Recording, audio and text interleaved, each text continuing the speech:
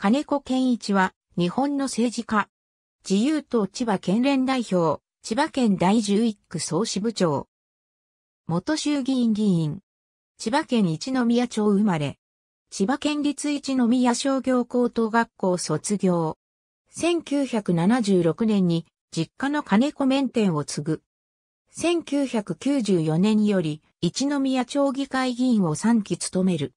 一宮商工会副会長、一宮観光協会長を歴任。2009年の第45回衆議院議員総選挙で千葉11区より出馬。森英介に敗れるが、比例南関東ブロックで復活し初当選した。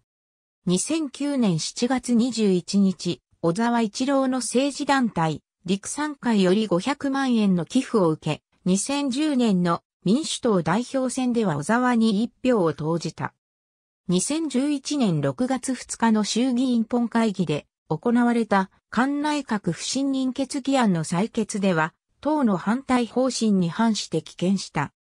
民主党は6月13日の役員会で厳重、注意処分とする方針を決定し、6月25日の常任幹事会で正式決定した。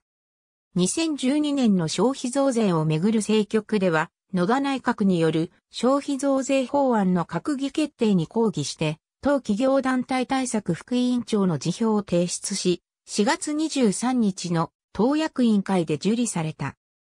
6月26日の衆議院本会議で行われた消費増税法案の採決では、党の賛成方針に反して反対票を投じた。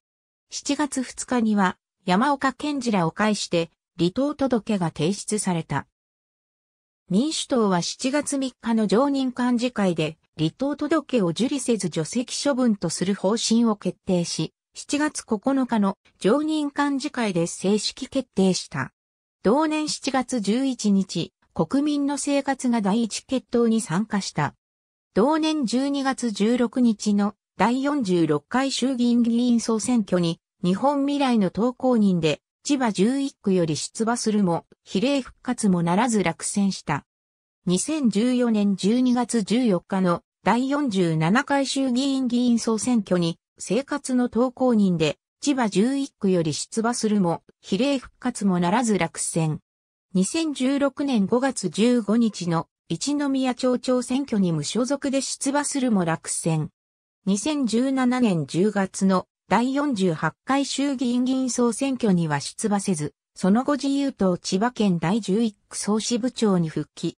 同党千葉県連代表を務めていた岡島和正が立憲民主党に移籍したことに伴い、公認として県連代表に就任した。ありがとうございます。